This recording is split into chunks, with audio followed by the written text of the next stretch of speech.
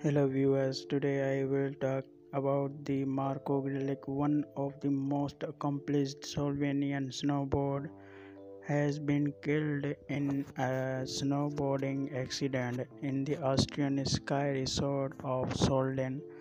Media reporters say he was part of a film crew inspecting a site for filming as fell and hit his head on a snow covered rock in a closed section of the resort.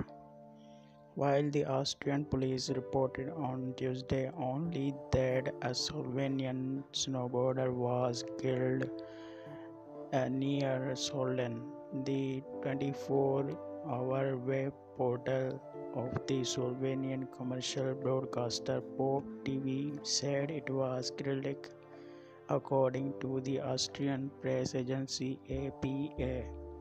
The snowboarder fell while descending a slope in deep snow as the film crew was preparing to shoot a scene.